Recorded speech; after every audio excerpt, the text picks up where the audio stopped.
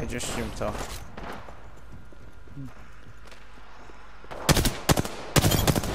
Got him.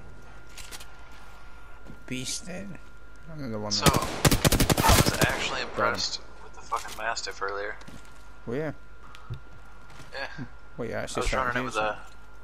Yeah, oh, I Okay. just had to have it one match. I was running it with a two-time zoom scope and fucking down like three people with it. Just take my time. And the two-time zoom, I just hurt people with that thing. If you miss at all, you're not doing much. But if you get a good hit on them, it's gonna fuck them up. Mm. Sorry for I'm just again.